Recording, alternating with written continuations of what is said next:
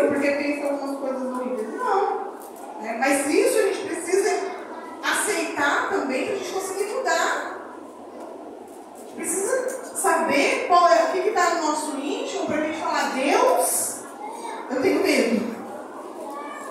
Deus, olha, ontem eu estava ontem eu estava vindo de viagem e eu caí, quando eu tinha sete anos de idade, eu caí no carro.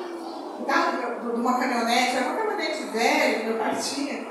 E aí, a hora que ele virou a curva, a porta abriu, eu caí, eu quebrei esse braço, a, passou em cima. E até hoje eu fico assim, eu tenho muito receio de porta de carro, né? E aí a gente vinha assim, de repente veio no pensamento assim, o Gabriel vai cair. Ele estava atrás na porta, assim, né? E eu já fico assim, encosto na porta. Aí eu volto falo?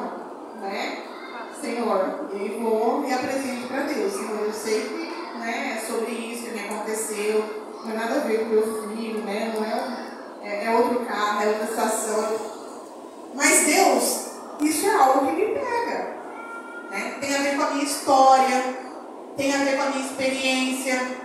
É algo que me pega. Aí meu filho já fala, ai mãe, a senhora, porque a senhora caiu quando a senhora era criança, né? Ele já sabe.